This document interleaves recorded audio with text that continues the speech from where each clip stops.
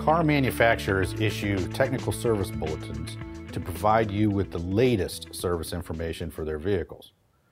GM made a change to the style of nut used to secure the wheels on the front axles of these vehicles.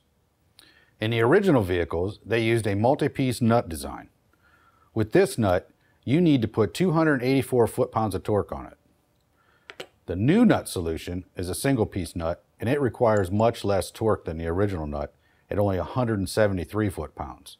That's all it takes to get the proper retention of the nut on the axle.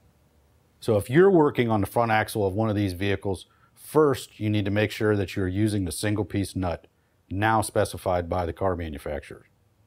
Second, remember to use the proper torque of 173 foot-pounds when tightening the axle nut.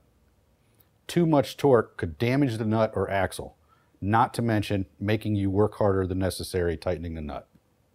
I'm Rick Dahman, and this has been a Timken Tricks of the Trade video helping you build your service knowledge.